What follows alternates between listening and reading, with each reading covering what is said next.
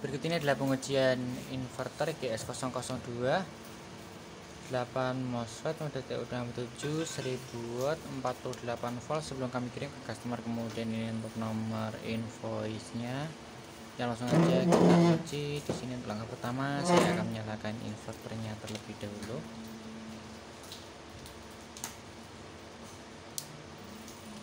ini dia sudah menyala kemudian saya akan lakukan uji beban menggunakan beban pemanas ini ya langsung aja kita bebani di sini sudah saya tambahkan beban yang terbaca sampai sekitaran 500 watt lebih kemudian saya tambah beban lagi.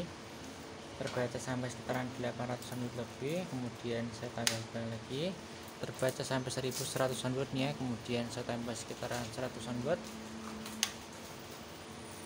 di sini di posisi 1200 watt ini dia rotasi off kemudian dia akan hidup setelah beberapa detik.